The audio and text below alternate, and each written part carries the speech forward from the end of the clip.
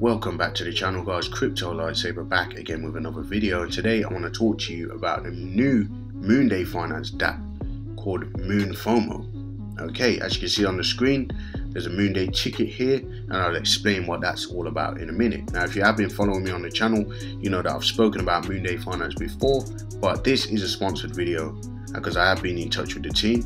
Alright guys, so please be aware of that full disclaimer. However, I like Moonday and I do believe um, that they're a great project with great tokenomics, low supply. I love their honest and informative approach to the community of investors. Alright, and that's why I agreed to do this video. If you are familiar with the previous platform, there's a 7% daily percentage when you stake moon day okay, which is quite good. Uh, that continues for seven days and then you can restake that again, or you can claim your dividends and do whatever you want to do. Alright, guys. Also, the second DApp was the Moon Gold platform.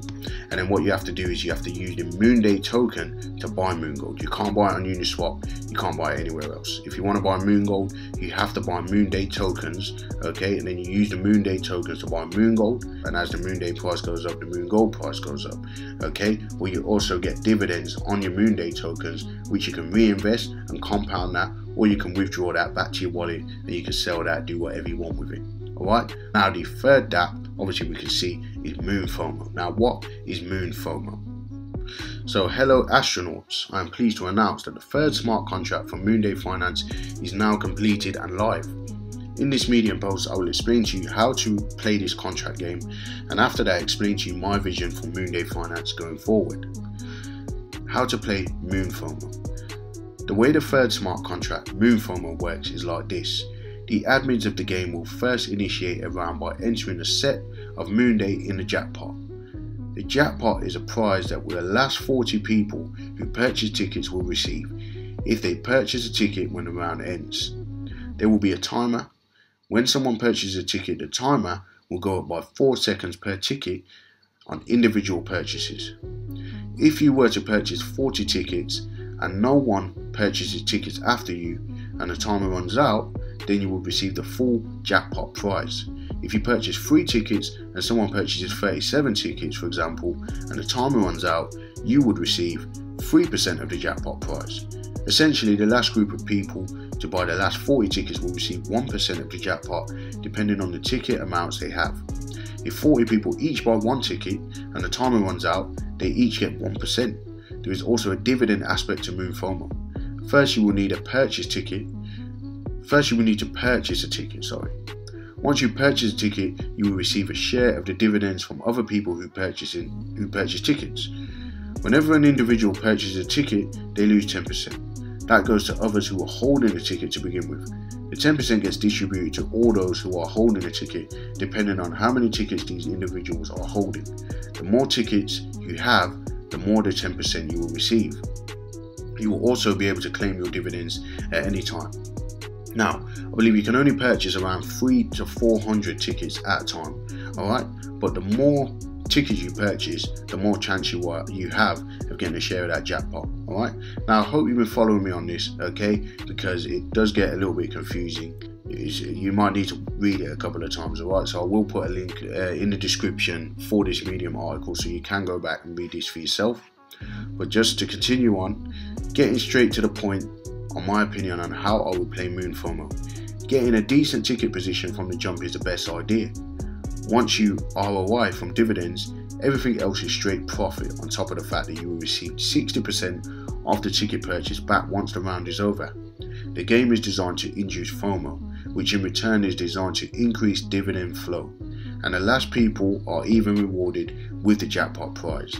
The ticket price is also designed to go up over time, this does not mean you can sell at a higher ticket price, but this design is crucial to ensure that over time it becomes a whale fight. High dividends gets you reigned, and eventually the round ends giving you back 60% of your initial ticket purchase. Finally, we have a free breakdown. 10% goes to the Moon Gold HODL wallet, which will feed Moon Gold. What I'm basically saying, upping your position in Moon Gold might not be a bad idea. 10% of the ticket buy goes to the jackpot.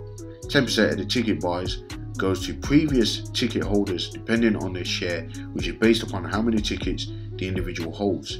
10% goes to the developer fund. 60% of your ticket purchase will go to the contract balance, when the timer ends, someone has to click the end round button and then you will click on the claim payouts button to get back the initial 60%. So you're getting back what you purchased the ticket for minus the other fees.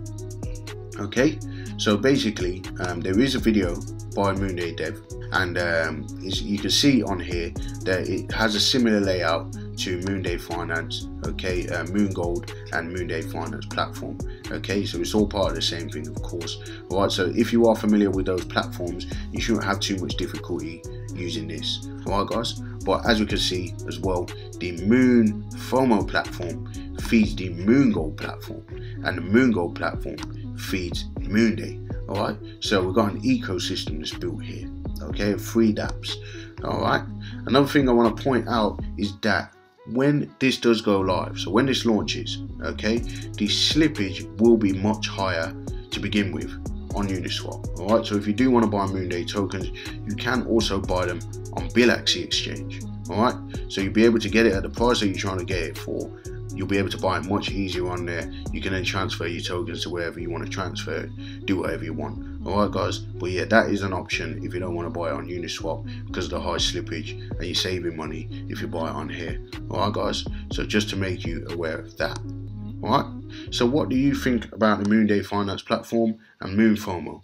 Do you think that this has legs? Do you think this is something you'll be buying into? Make sure you let me know in the comments. Alright. Also, make sure you subscribe and get over onto Twitter. Follow me at Crypto Lightsaber. Okay, there's also a link in the description for Patreon, so you can get access to the Telegram group if you do join me over there. But finally, that's about it for now. Like I said, I will leave links in the description for this. I'll leave a link in the description for the video so you can go and see how that works a little bit more clearly. Alright guys, but yeah, that's about it for now. I'll see you guys in the next video.